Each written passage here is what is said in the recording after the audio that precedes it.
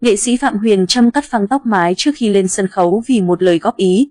Tôi chỉ vừa góp ý là phải cuốn cao lên mới giống nhân vật thì Huyền Trâm lấy kéo cắt tóc luôn, khiến tôi bất ngờ vô cùng nhưng cũng rất khâm phục, nghệ sĩ Bình Tinh chia sẻ. Bởi đây, chương trình Tài danh Tân Cổ đã lên sóng với sự tham gia của nghệ sĩ Phạm Huyền Trâm, nghệ sĩ Hoàng Quốc Thanh trong vai trò khách mời. Cùng giám khảo là nghệ sĩ Thanh Hằng, nghệ sĩ ưu tú Vũ Luân, nghệ sĩ Trinh Trinh, nghệ sĩ nhân dân Thoại Miêu.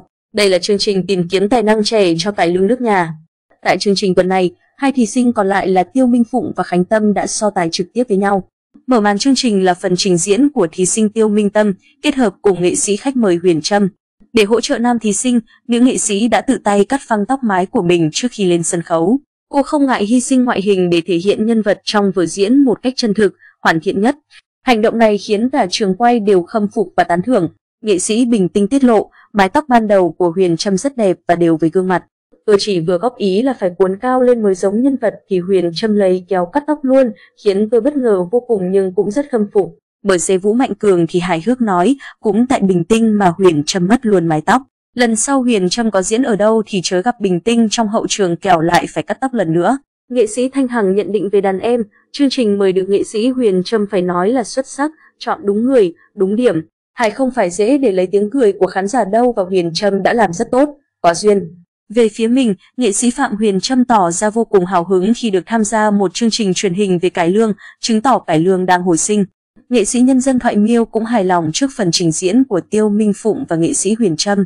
Theo cô, nam thí sinh diễn hài sạch, đẹp và dễ thương. Màn tương tác nhịp nhàng, duyên dáng giữa Tiêu Minh Phụng và Phạm Huyền Trâm đã hoàn toàn chinh phục nữ giám khảo với điểm 10 trọn vẹn từ cô. Tiếp đó là màn trình diễn của thí sinh Khánh Tâm với sự hỗ trợ từ nghệ sĩ Hoàng Quốc Thanh. Không hề thua kém Tiêu Minh Phụng, Khánh Tâm đã khắc họa thành công diễn biến tâm trạng phức tạp của nhân vật nữ vương với sự hỗ trợ nhiệt tình, nhịp nhàng từ nghệ sĩ khách mời. Khi được hỏi về bạn diễn, nghệ sĩ Hoàng Quốc Thanh liền hết lời khen ngợi. Theo nam nghệ sĩ khách mời, thí sinh Khánh Tâm là cô gái ham học hỏi, chịu thử những điều mới và hết lòng cho vai diễn của mình. Nghệ sĩ nhân dân Thoại Miêu khá chú trọng vào chuyên môn. Sau khi xem xong phần trình diễn, cô thẳng thắn nói, so với lần trước thì lần này Khánh Tâm có sự tiến bộ hơn. Tuy nhiên, tôi góp ý rằng Khánh Tâm có giọng ca cao vút, rồi nhưng khi diễn một vai độc thì lúc nào cũng phải gằn xuống và gương mặt cũng phải biểu cảm ra chất độc. Tiết chế đừng là nhiều quá, khi xuống trầm tâm hơi tranh nên phải biết tiết chế. Đừng để nhược điểm nhỏ ảnh hưởng đến vai diễn của mình.